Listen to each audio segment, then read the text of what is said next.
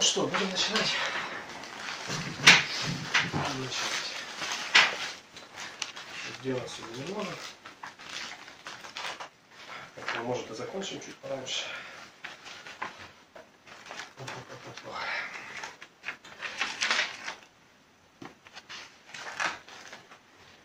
Предварительно вопросы есть?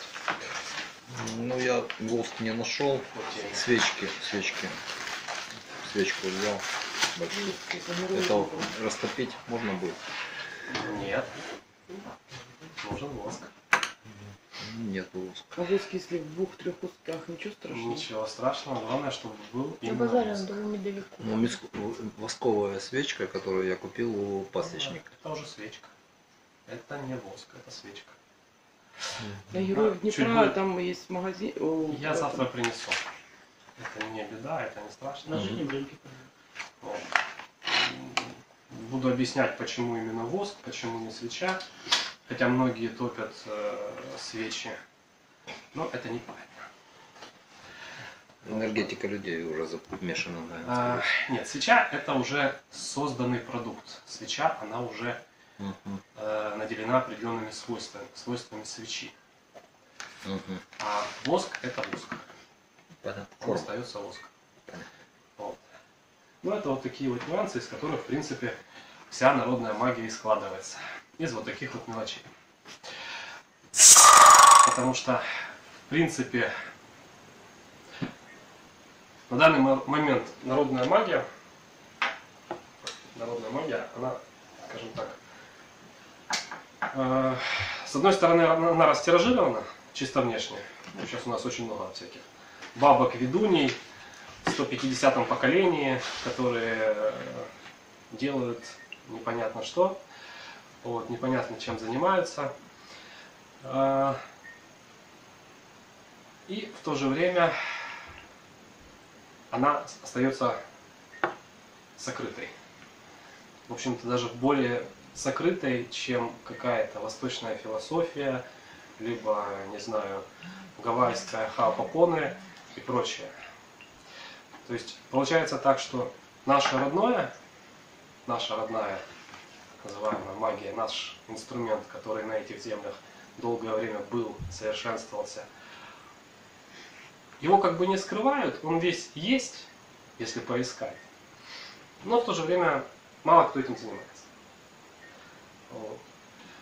А, Последнее поколение настоящих бабок, которых действительно там учили, оно ушло еще лет 10-15 назад.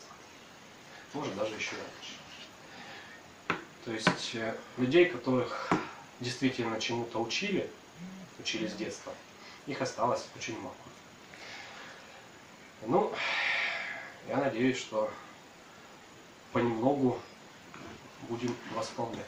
А можно научить чужих, а не те, которые по роду передаются Э, знания? Буду объяснять, в чем разница. Можно научить чужих, а, но определенной, до определенной степени. Потому что, а, ну, тогда немножко вот такой вещи. Есть ведьмачество, а есть ведовство. Да? А, вот у нас есть ведьмачество и есть ведовство. В чем разница?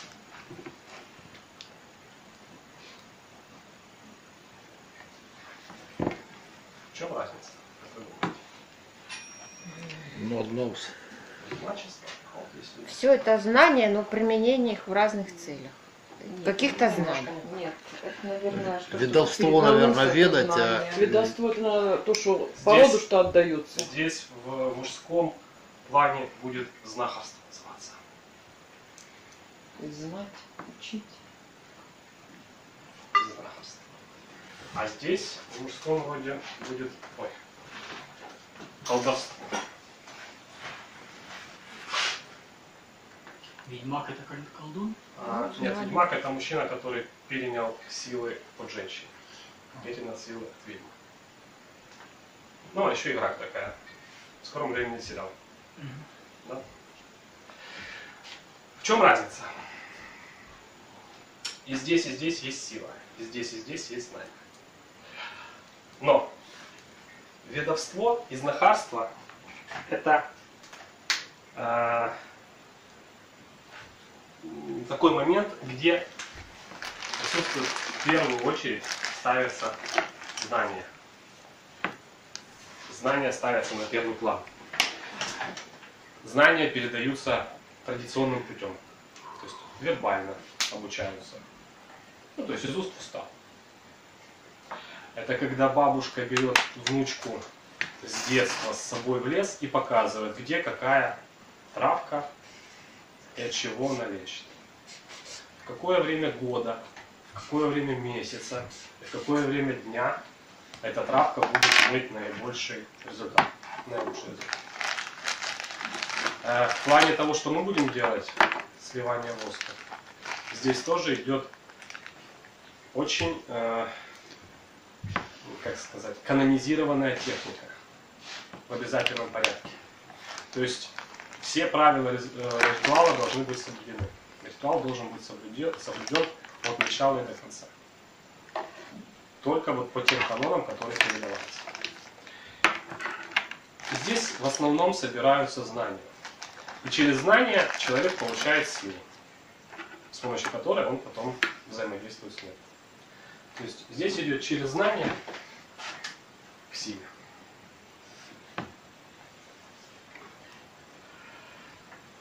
В народе это считалось, именно эти люди считались представителями так, так называемых светлых сил.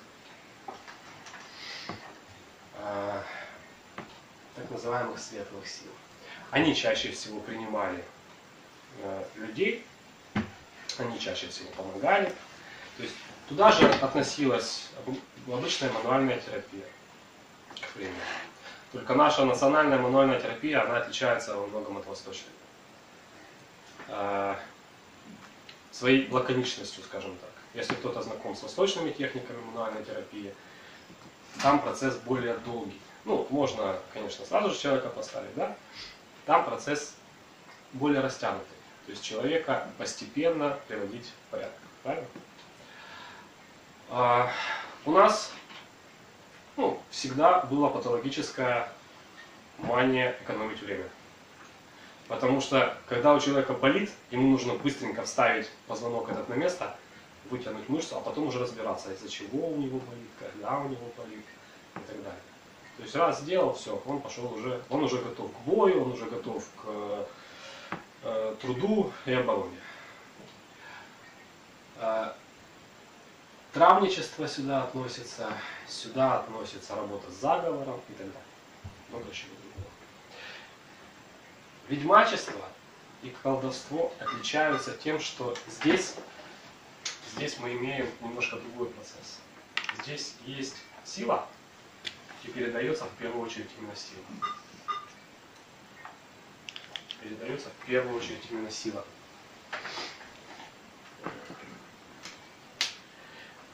То есть здесь передается из поколения в поколение, через одно поколение только. Всегда это учитывайте. То есть если где-то где-нибудь в телевизоре вам рассказывают про родовую ведьму, которая, у которой и мама родовая ведьма, и бабушка, и прабабушка, и все ее сестры, и вообще все подряд. Это, скорее всего, брехня. Потому что сила передается только через одно поколение, во-первых. Во-вторых, она передается только одному человеку. В роду носителем будет только один человек этой силы. Обычно передается что? Передается так называемый родовой подселенец. То есть это определенная сила, с которой работают в этом роду. Часто такая сила передавалась, то есть человека готовили, понемногу объясняли, но иногда могли быть вообще всю жизнь в... Часто такое встречал, что люди всю жизнь друг с другом, ну, то, что называется в контрах. То есть всю жизнь друг, друг с другом в ссоре. Ну, перед смертью передающий все-таки призывает того, кто должен получить, и передает. А, обычно нужен физический контакт непосредственный перед э, уходом, перед кончиной. Но я встречал такое, что э, и без физического контакта. У меня была клиентка, которая рассказывала историю своей матери, которой должны были передать. Вот. И ее готовили с детства. Бабка, которая должна была ее передать, была их соседкой. Какая-то дальняя-дальняя родственница, чуть ли не там четырехюродная бабка Кума. Ну, в общем, какое-то отношение по крови все-таки имела. И вот э, женщина, которые должны были передавать, она узнала о том, что передающая уже как бы при смерти, но ехать в село отказалась. Не захотела. В ночь, когда бабка умирала, э, по ее рассказу, она проснулась от жуткой жары. Проснулась и увидела на столе стакан воды. Она подошла и, несмотря на жажду, всю эту воду вылила в раковину. То есть, таким образом, отказавшись от принятия. Ну, на следующее утро узнала, что человек, который передавал, Здесь к знаниям приходят, наоборот, через силу. То есть человек сначала получает силу, а потом начинает разбираться, что же ему дали, как с этим теперь жить, как с этим теперь работать. Силы начинают его понемногу испытывать, играть с ним, Тренировать. тренировать. Вот. И вот потом, только через какое-то время, получают знания о том, как же с этим работать. Ну, так получается, что данная категория, она немножко сильнее.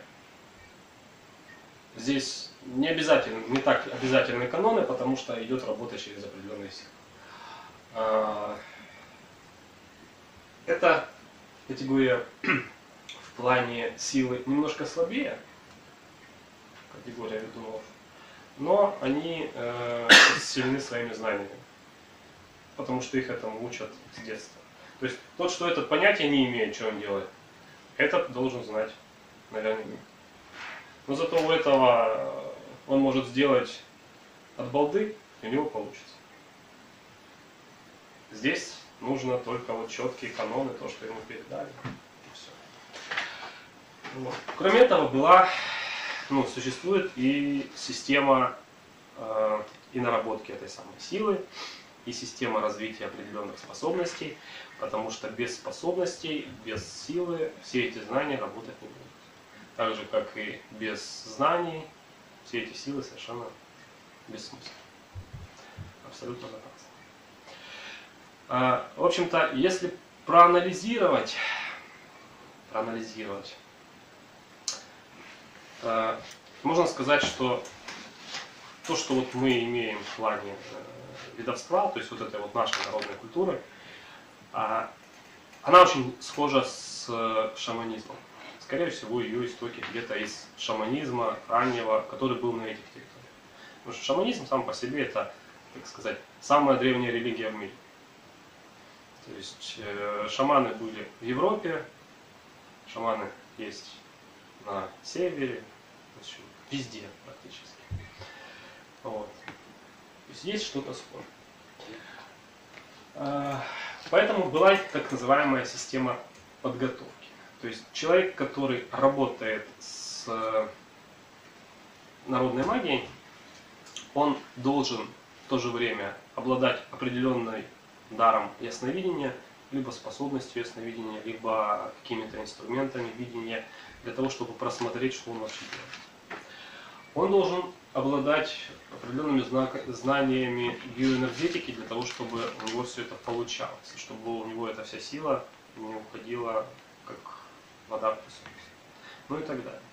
То есть это такой обширный пласт, э, который на данный момент все свели к двум шепоткам, не знаю, плевку через плечо и так далее. Э, Хотя все эти вещи тоже интересны и тоже возникли не на пустом месте. То есть любой ритуал – это э, знание закономерностей и наблюдение за закономерностями в течение многих поколений. То есть именно наблюдая за закономерностями, люди смогли, смогли сотворить определенные ритуалы. Ну и, как у нас сейчас любят цитировать Бора, по-моему, да, насчет того, что взмах крыла бабочки где-то в Гималаях способен вызвать цунами э, где-нибудь на Тайване или еще где-нибудь. А, Вот на этих принципах в и работает все это дело, все это ведовство, все это колдовство. То есть понимание, что нужно сделать для того, чтобы получить нужный результат. Ну и мы с вами будем, в принципе, этим заниматься. Том числе и этим. Но для того, чтобы начинать заниматься, А того, еще вы чтобы- не сказали, Петр, вот это ведовство, это белые Ну, относится, а ведьмачество это какие? Всякие могут быть или только чужие? Или, только, или всякие? это уже как раз то, что называется в народе темными силами. Темные, да? Я знаю, что есть определенные э, мужчины в халатах, ну не те, которые за- велопередоном, а те, которые еще в очелье там, в женском ходят, которые когда-то придумали, что ведьма – это ведающая мать. Возможно, это было как-то изначально так. Но если мы возьмем нашу культуру, наши сказки и так далее, и посмотрим, что, как, как ведьма выступает там, ведьма всегда неодно- неоднозначный персонаж. Чаще всего негативный. Но она тоже может помогать. Она тоже может помогать, она также может принимать лю- людей, она также может лечить. Вот, то есть, в принципе, это ее выбор. И тут такой момент, что она может делать пакости, а ей за это ничего не будет. Ну вот ничего не будет.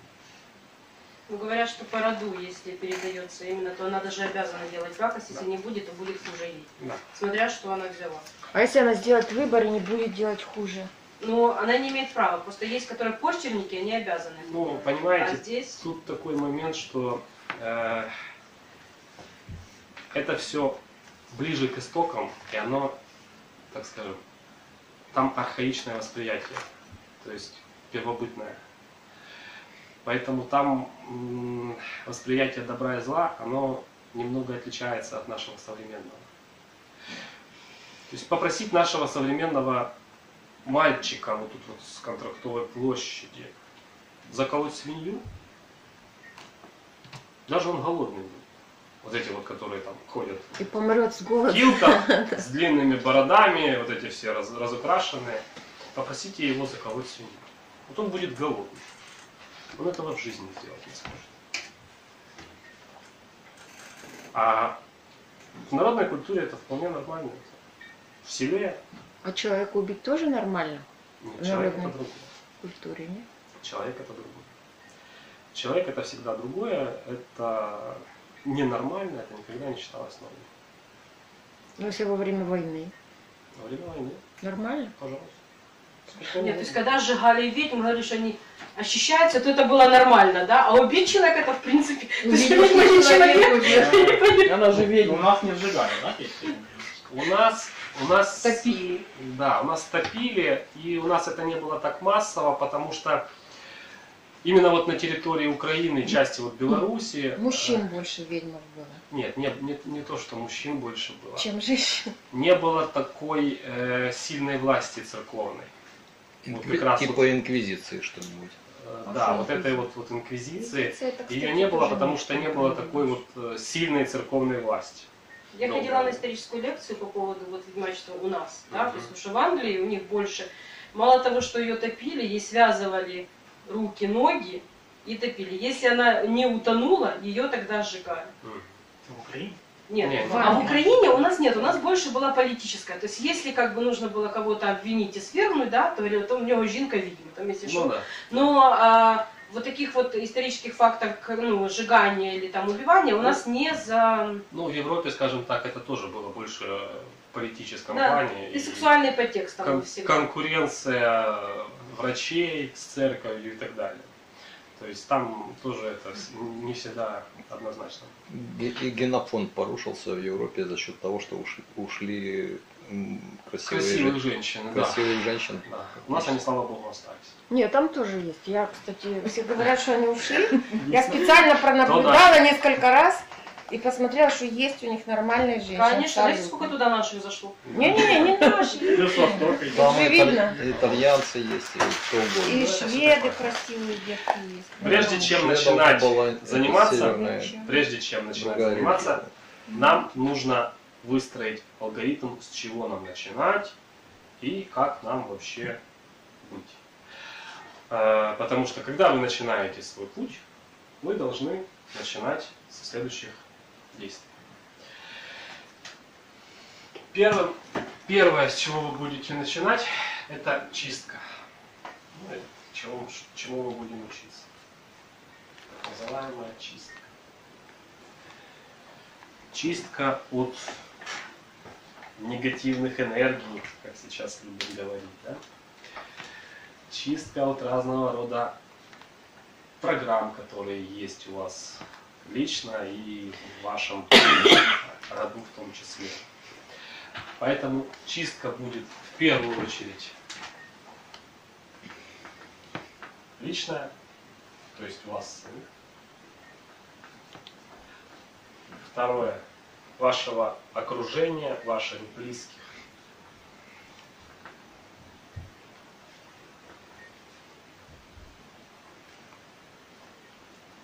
Ну и третье, это место обитания. То есть ваш дом, квартира, офис. и так далее.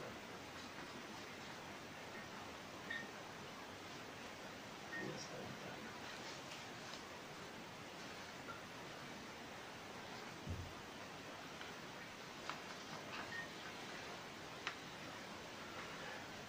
Следующий момент, следующий момент, который мы тоже будем рассматривать на курсе, это защита. Ну, все так же, по тем же самым пунктам. То есть личное, близкие,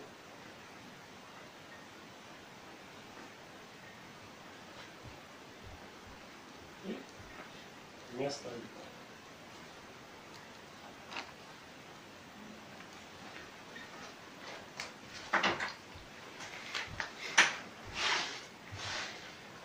Только после этого можно будет задумываться о том, чтобы работать с другими людьми. То есть принимать других людей, посторонних людей.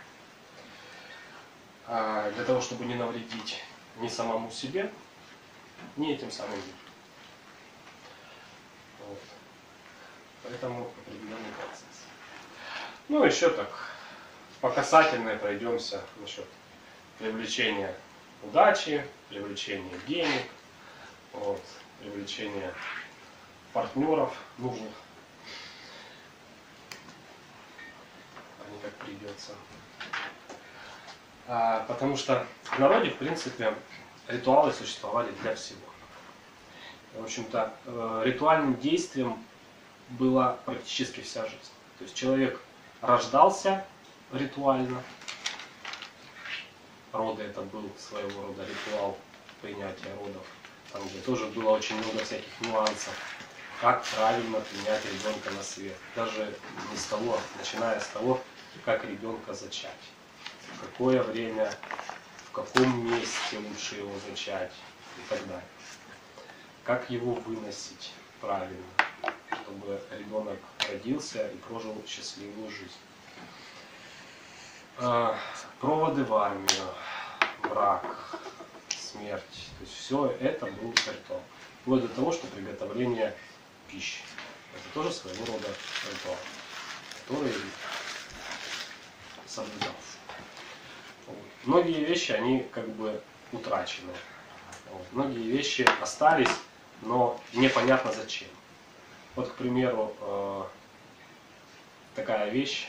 На проводах в армию э, мужчине, ну, парню, его мать, либо его старшая сестра завязывает платок при нем и дарит ему платок. И он идет с этим платком в армию. Потом, когда он приходит из армии, у него на глазах этот платок развязывает. Она узел вяжет, правильно? Вот. Для чего это, что это, понять. Как защита может быть. Да, это как охрана, охра- охранный Как- узел считается. Ну да, наверное. Она, я, я слышу, она развязывает, да, потом? Ну, Ну, так ну, завязывает, а потом так развязывает. а потом развязывать. А, да, своего рода защита, но это уже как раз вот из того момента, что приобретенная, то есть не- недопонятая. Ну, Может быть, это мыслеформа вложенная определенная. На самом деле мыслеформа там тоже должна присутствовать, потому что это делается с определенными словами. На самом деле здесь немножко иное.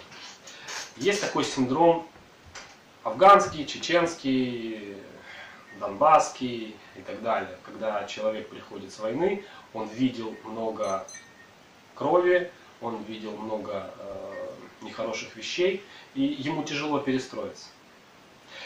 Так вот, когда он уходит, его к этому готовят. И завязывают.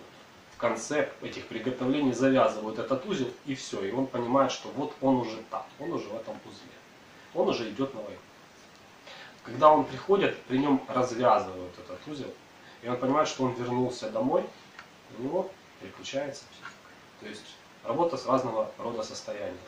Состояние войны, состояние мира.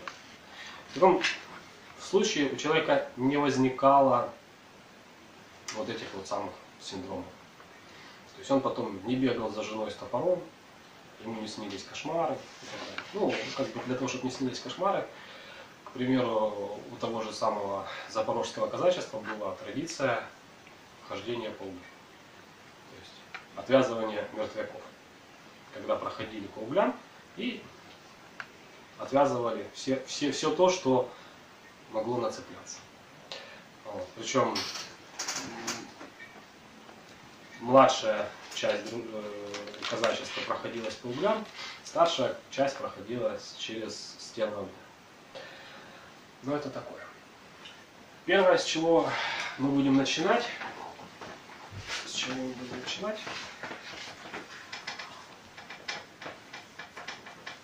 именно практической части, это заговоры.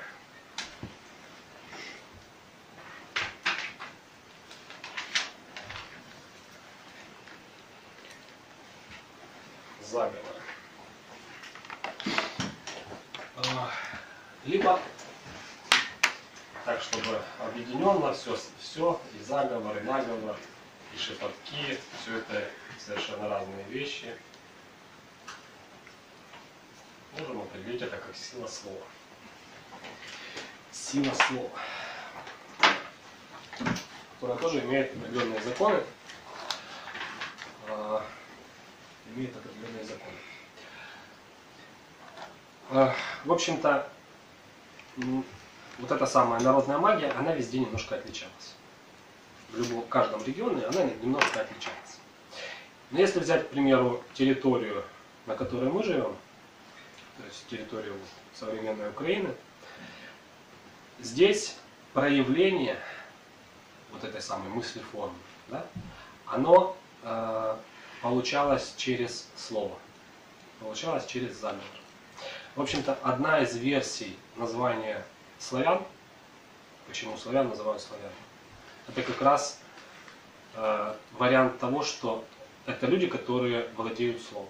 Люди, которые через слово способны общаться с миром. Через слово способны э, творить чудеса. То есть через слово способны магичить. Есть версия, что язычники слово язык. Возможно, возможно, тоже. возможно тоже. Поэтому именно на этой территории в большей степени было именно работа через слово. Если брать какие-нибудь э, скандинавские страны, Прибалтику, там шло, шла работа через написание, через начертание, то есть руны. При этом руны существуют скандинавские, руны существуют английские, руны существуют литовские и еще много. То есть все вот это вот побережье, все эти северные моря, они все имели определенные рунические, э, рунические формулы.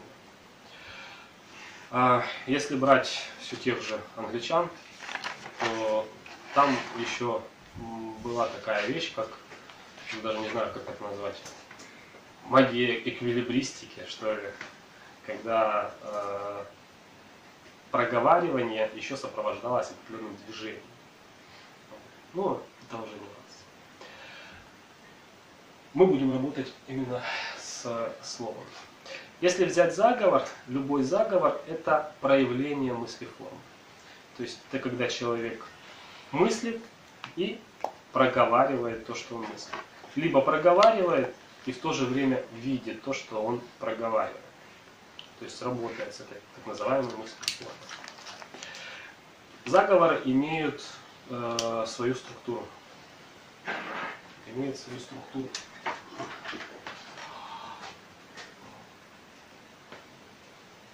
Заговор имеет в общем, сейчас, секундочку. Э, имеет э, почин, зачин и тело. Почин зачин? Почин, зачин и тело. Подождите писать. Я же не сказал, где что. Мы потом потеряемся. А как вы думаете, где что? Сначала зачин, Мгм. потом тело, потом почин. Мгм. А, В общем-то, граждане, которые называются филологами, они говорят, что зачин и почин это одно и то же. Вот. Ну, филология у нас в Советском Союзе раз- развивалась, поэтому как бы говорить они другого и не могли. Ну, починишь. Это Вот. до начала. Подчинен Але якщо ви розумієте А українську помирать? мову або білоруську мову, то для вас не буде загадкою, що таке почин, що таке зачин. Тому що українською Зачин мовою закрывают. почин це те, з чого починають, а зачин це те, чим Зачиняють. зачиняють. Вот і все. А И тело пере- пацаны. Знание языка исконного, он- Тогда почин вперед. да, А когда почив, почив, это ж помер уже. ну почин, то вже помер. Это уже конец, Это когда другое. закрывают. Це ж уже закриває. Я оттуда думала, Тело.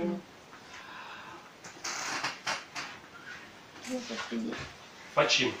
Что туда относится? Это такая вводная часть. Вводная часть заговора. Обычно туда относится обращение к определенным силам. То есть указывается, к кому вы обращаетесь. В первую очередь. Указывается, кто обращается, либо для кого обращаются.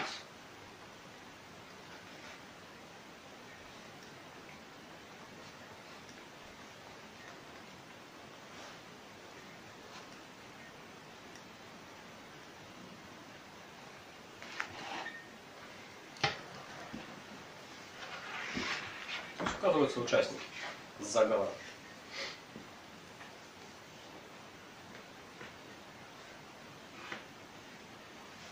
Возможно, и слово заговор тоже отсюда. Да. Заговор между определенными участниками, определенными силами и человеком. В теле, в теле указывается запрос, то есть что должно исполниться.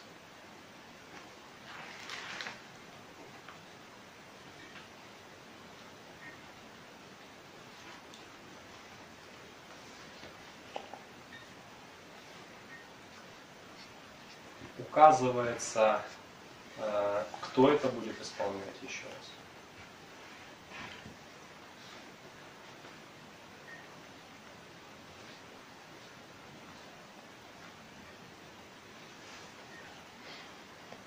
Указывается, как это будет исполняться.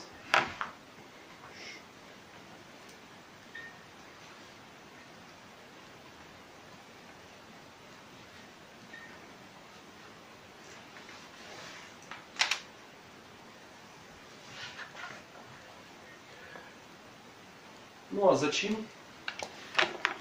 Зачем? Э, В зачине идет оговорка насчет оплаты.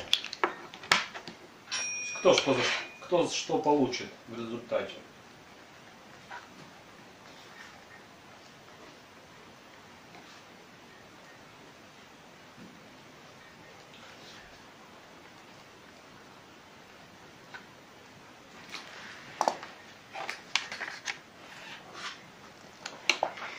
Иногда обещание взятия на себя обязательств не обязательно. Или обетов каких-то, да? Да. Обязательств, обетов, зароков.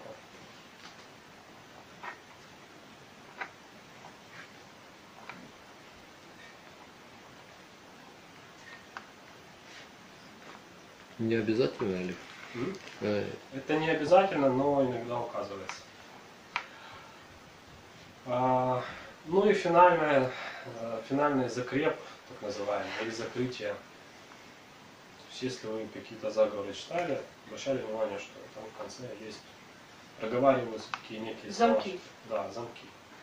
Мое слово будет легко как камень, алатырь, либо там, рот, замок, ключ, язык и так далее. Да будет так. разного рода. Разного рода. Да будет так, ну, это такое слабенькое, да будет так. Вот.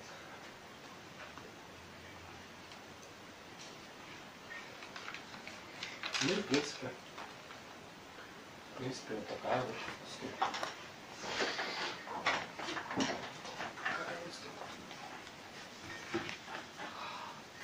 Но все не так просто. Потому что заговоров даже в интернете написано очень много, книжек напечатано тоже много, Но не всегда работает. но не всегда работает. Ну да. А чаще всего и не работает потому что. Да. Вообще рекомендуется, ну, или свой можно придумать. Ну, это само собой. А до этого, об этом мы еще поговорим. А, Есть определенные условия для того, чтобы заговор работал. Первое условие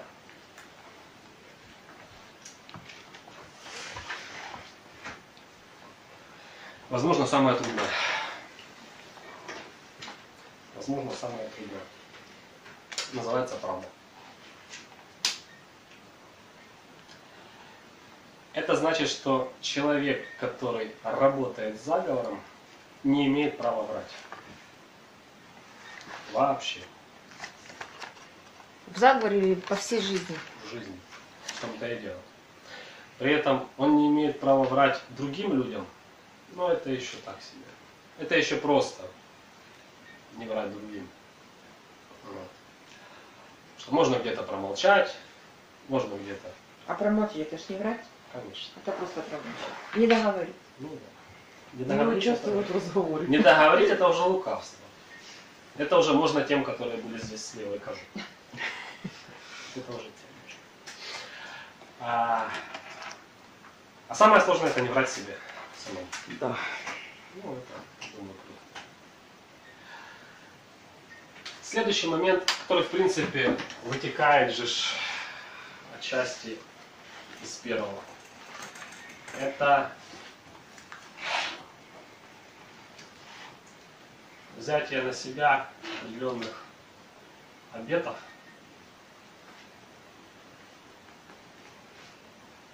и залогов. И самое страшное это их исполнение.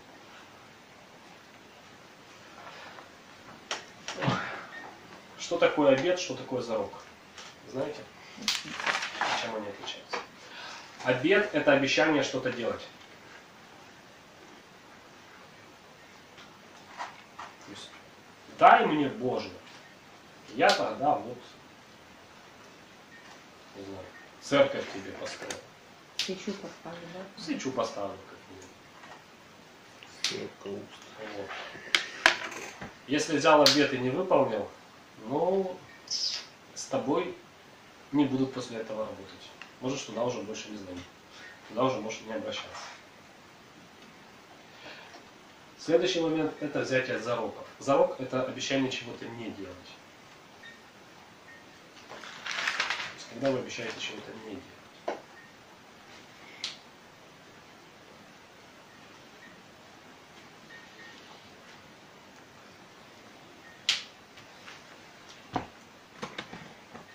Ну, это все о том же, все той же правде, скажем так. Следующий момент. Следующий момент. Это уже такое, чисто техническое. Это открытое горло.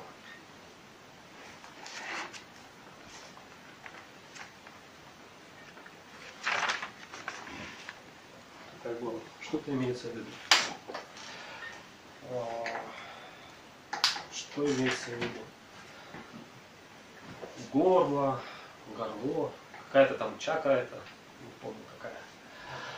А, кто знает какая? Пятая, да? За что она отвечает? Ну, по-разному, обычно за речь, за э, донесение информации. Речь, донесение информации, а, страхи, ну и так далее. Искусство. Что имеется в виду? Когда вы начинаете читать какой-то заговор, вы должны его помнить наизусть, и он должен литься как, э, как музыка. как-? Середина, да. Да, то есть из души литься. Если у вас закрытое горло, если вы слова не можете произнести в присутствии другого человека, то о каких заговорах может идти?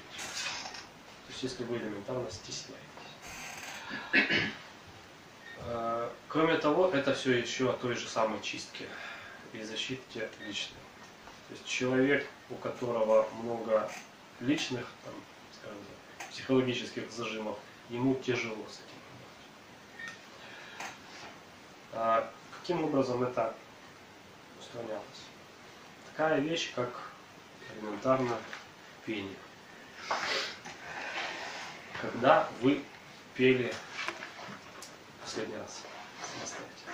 Вчера. Сегодня утром. Замечательно. Отлично. Караоке А, нет, просто ходила, что-то делала и пела. Вот, вот это тот момент, который, в принципе, сопровождался, раньше любое дело сопровождалось пением. Люди пели, когда что-то делали по дому, люди пели в поле, люди пели после ужина. Я, к примеру, застал еще у нас в семье было, что после того, как поужинали, бабушке, у нее было пятеро детей, и вот все садились, все пели песни. Люди пели на войне, люди по песне узнавали друг друга. То, чего, что сейчас, скажем так, проявлено в меньшей степени, проявлено в меньшей степени, и люди не знают, что это тоже э, определенного рода язык и э, как сказать Передача информации. передача информации, возможность узнавать своих. Э, Для примера, песня, которую вы хорошо все знаете, наш национальный гимн. Священный хор. Да? Откуда он взялся? Зачем он был написан? Песня, по которой узнавали друг друга в 19 веке э, борцы за независимость. То есть человек, который встречал, то есть для того, чтобы узнать друг друга, он мог начать петь песню, а продолжает уже песню да, следующую. Вот. Ну и наспівуючи е, пісню, от е, недавно е, описание одного из. В общем, по Харькову ехал и наспевал песню. И вот узнавание друг друга только за счет того, что человек откликнулся на песню. Подобное было у казаков. Казаки, когда шли в бой, они в бою, у них была мугычка, у них была определенная песня. Ну, песня не э, со словами, а песня, скажем так, ну, само слово мугычка, я думаю, говорит об этом. Определенная интонация. И вот определенный шум создавался в каждом подразделении свой. Человек, потерявшись где-то отстав от, своих, от своего десятка, он мог свою десятку, свою сотню найти. Просто на слух. Услышав, что вот там вот та песня, наша песня. Он туда быстренько догонял своих. Ну и в общем, мно- много таких моментов. Открытое горло. Ну и следующее. Следующее. Это вот те самые мысли форма, мысли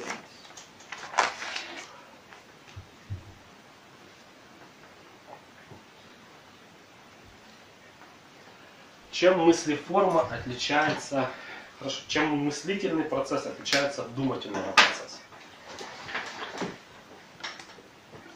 Думательно это просто психический такой процесс, а мыслительно это какое-то понимание еще приходит человеку картинки внутри еще. в процессе. Рисунок. Это определенные картинки в голове. Это когда, когда вы мыслите, у вас как бы разыгрывается м, определенный сюжет, кино в голове. Вот когда вы читаете заговор, и вы видите то, что вы читаете, вот это называется вынесение мыслеобраза. Ну, его можно по-разному вынести. Вот это вынесение того самого Видят готов- готовый результат, да? Ну, нет, полностью весь сценарий. Ну да, процесс. Вам в детстве сказки читали? Мгм. Вот когда вам читали сказки, у большинства из вас э, фантазия работала на полную. И вы все это прекрасно видели. Правда? То есть все, что вам рассказывали, вы это все видели лучше, чем в любом мультике. То, что современные дети э, могут потерять категорически, потому что сейчас все, все, все воспитание очень часто заканчивается мультипликацией. Мультик поставил ребенку на ночь, он смотрит, в голове ничего не происходит, он засыпает. То есть никакие, э, никакой мысли формы не происходит. Опять же, в сказках очень много чего зашифровано. И, в принципе, описание э, сказок наших, оно очень похоже на описание шаманских путешествий. Всё тех же. Место ясно Сокола, да? Да, в принципе, вы любую сказку возьмите. Э, С того, что я люблю в этом плане,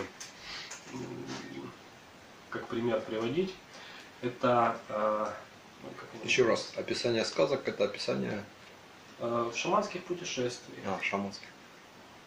Это э, где-то на уровне подсознания, где-то на уровне наших архетипов мы вот сказку воспринимаем. Потому что оно, она заложена и так у ребенка. Вот из того, что люблю э, пока, э, как пример приводить, это э, ну, взять того же самого Котигорошка. Вот, обычная сказка, в принципе, абсолютно нелогичная. Куда-то пошел, кого-то убил, зачем-то куда-то спустился. Но там есть такой момент, что борьба со змеями, во-первых, вы, если возьмете любую культуру, в любой культуре, либо любое э, первое шаманское путешествие, описание первого шаманского путешествия, и там будет похожий сюжет, когда человек погружается куда-то вниз, куда-то в нижний мир и борется со змеями. Борется со змеями, то есть борется с собственными страхами, собственными там, какими-то нерешительностью. Ги- Гипноз нашими. А? Гипноз уже на, на нашем языке. Э, Это больше блоки, скорее всего. Больше, Ну, страхи это да, блоки. больше да, блоки, то, что не страхи. дает двигаться ну, вперед, развиваться. Вот. Ну или самогипноз. При этом, при этом, опять же, чем больше ты рубишь голову этим, этому самому змею, тем больше у этого змея голов Ну, подрастает. Вот. Пока если не найдешь универсальный способ, чтобы их прижигать. Вот. Ну, это уже нужно поискать. Вот. То есть должна, должен заговор подкрепляться, сюжет подкрепляться мыслеформой. Что это дает? Это дает вам нужное состояние, нужный настрой. Вы настраиваетесь на то самое состояние, на которое был настроен человек, который этот заговор когда-то придумал, который когда-то его открыл. Вы настраиваете человека на нужное состояние. Он также настраивается на то состояние, в котором он сможет себе же помочь. А, Ну и это, скажем так, визуализация. Современ- Современная уже, современные эзотерические методы. Новейшие. Вот. То есть заговор только наизусть, да? Читать нет. Заговор, да, читается только наизусть. Если вы его читаете наизусть, то здесь, опять же, самое важное будет вот тот момент, о котором я говорил. Последний. Чтобы вы видели картинку. И там уже даже если вы собьетесь и немножко скажете слово иначе, в принципе, это не так критично. Главное, чтобы вы понимали и видели то, что вы говорите. То есть, чтобы вы с этим образом могли работать. Вот таких вот четыре условия. Все очень просто. Да. По ведовству и, и по ведьмаству. То есть, Да. э, если вот в ведовстве э, я знаю, что я делаю, и это приводит к какой-то силе, то ведьмаство, ну я, я сейчас конкретно в контексте заговора говорю, то в ведьмастве, получается, э, сила добавляет э, вот этот э, дрова в огонь, да, и он уже там начинает дополнительно что-то видеть, визуализировать. Там, э, скорее всего, не будут работать с заговором. Там работают на эмоциях. То есть человек э, эмоционального посыла достаточно для того, чтобы кому-то навредить, либо кого-то вылечить. То есть это что в спину сказанное проклятие, Да. это уже все достаточно будет, да? Там уже слова не имеют такого значения. Тут уже обще- общение с вот этой самой силой, которая, с которой он живет, с которой, которой, с которой он взаимодействует. И вот, а эти силы, они больше э, понимают эмоциональный посыл лучше, чем какие-то слова. Вот. Но они больше вообще понимают, если ты концентрируешься на человеке, если ты работаешь, с ним, ну, конкретно работаешь, Ну да. то они же должны понимать, чем и что они должны, какая их миссия Ну да. То есть, получается, им родовой подсвинец помогает во всем, да? Ну да. Не надо обзывать его так, он помощника не подселил. Не, ну как ты сказал, так я повторила. Друг, да. Ну, по сути, по сути, да, по сути, это, э, это подселенец, по сути, это подселенец. По сути, это бес. Да. А, ну, если вы говорите церковным языком, то да, Да. это бес. А домовички, например. Если вы боитесь бесов, то какого беса вы сюда пришли? Это немножко курс такой, что здесь а, рано или поздно вы сможете с этим, вы можете с этим столкнуться. Э, Что в Что, церковь сходить нужно и сразу. да, да, что э, Это не помогает.